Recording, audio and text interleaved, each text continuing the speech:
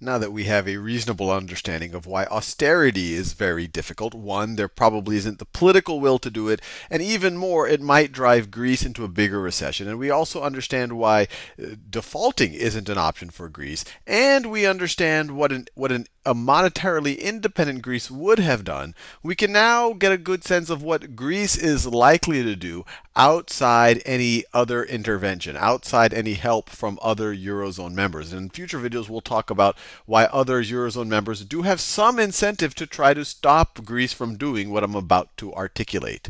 So, in an ideal world, Greece, if it had its own currency, would just print away and be able to inflate away its obligations. Also, if it had its own currency, and this is not necessarily a good thing to do because it will it, will undermine investor trust going forward, but even defaulting would be an option because they would still have access to their own currency, and then they could just keep printing and then lending to that government, and the government could continue to to pay the nominal obligations, but since they're getting inflated away, in real terms they would become lower and lower. So what Greece, outside any out, you know, if, if, it doesn't get any help from other Eurozone members, if it does not get bailed out in some way, what is likely to happen is that Greece, Greece leaves the euro, leaves, leaves the euro.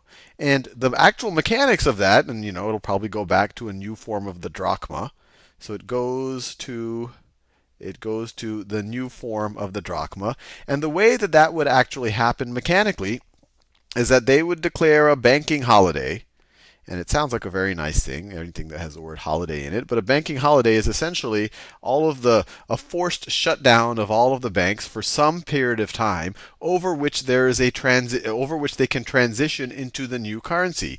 And so entering into the bank holiday, the euro was the currency, and if you had uh, a, a, and the, the money that you had in your bank was denominated in euro, but exiting the banking holiday, the drachma will be the currency, and the money that you have in the bank will be the drachma. And what the government will essentially do is they'll set some type of conversion rate over that banking holiday. They'll maybe say every every one euro, every one euro you have is will be converted into one into one drachma. And then just the exchange markets will determine what the actual exchange between a euro and a drachma is going forward. And so then everyone would buy and sell in, in drachma. And all and the government would also say all of our obligations are now in drachma, which would essentially be a default.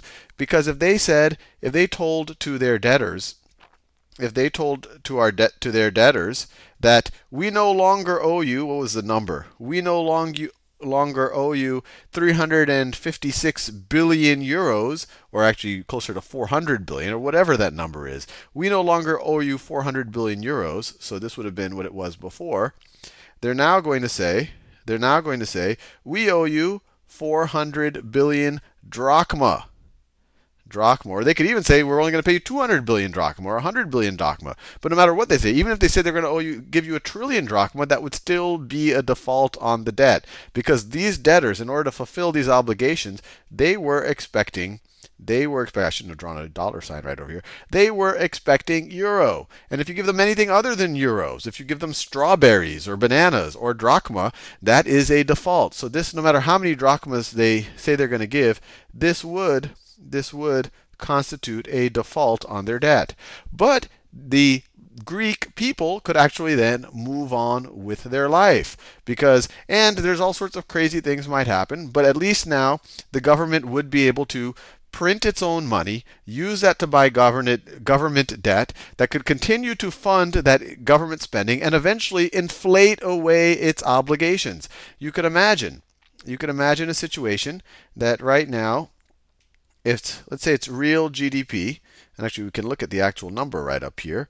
It's real it's real GDP. Actually, it just has the growth right over here. So let me just so if it's real GDP is 100, let's say it's 100 the equivalent of 100, we could say drachma, and that by just keep printing drachma, the actual productivity of the economy, let's say it doesn't change. It actually might improve if, if money is just printed in, but you don't get to hyperinflation.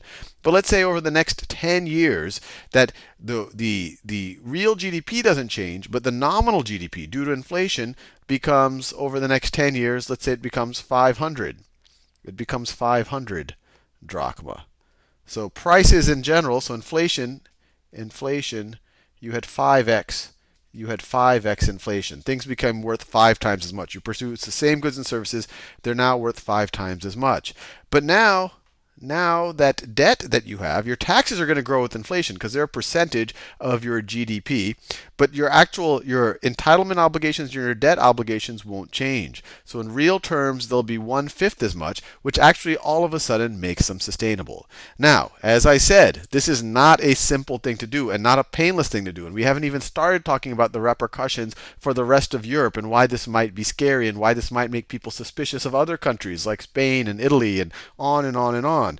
And even in Greece, this would be painful because you can imagine. You can imagine we're already starting to see this in May of 2012. A, the, the government will say every euro you have in your bank account it'll now be a drachma. But the people there they aren't they know better than just believing that a drachma is going to be worth the same as a euro. They're going to know that as soon as the drachma starts exchanging on foreign exchange markets that the actual reality is the actual reality is one drachma one drachma is going to be some, worth something closer to maybe uh, 60% of a euro, 60 cents, or, or uh, uh, 0.6 of a euro, or 0.7 of a euro is equal to point, let's just say 0.7. Let's say it's 0.7 of a euro. So essentially, by this happening, everyone's savings, everyone's deposits in real terms, in terms of their global buying power, is going to go down by 30% overnight. And the Greek people are already seeing that. They are seeing the possibility of a banking holiday, a conversion to the drachma. And so that's why you have people waiting in line before this happens and trying to withdraw their euros.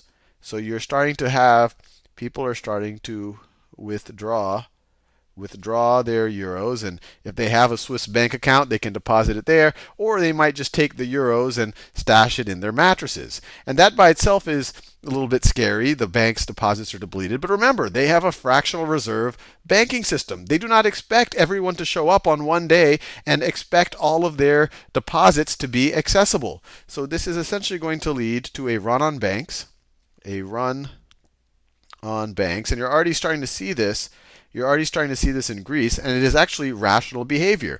If you think that 30% of your savings is about to be swiped away because of this thing right over here, I'm going to give you something worth 70.7 of a euro for every euro that you have, you would rationally go to the bank and, and get your deposit back. But because everyone is going to start doing that, the banks won't have their reserves. You don't have, the Greeks don't have their own central bank that can back up the banking system there. And so this might lead to massive bank failures massive, massive bank failures. And essentially, the entire Greek banking sector could go down because of this. And they don't have an independent central bank, independent of the European Central Bank, to kind of uh, fight the fires the way that the Fed would in the United States. So this is not a clean situation. It is not a painless situation.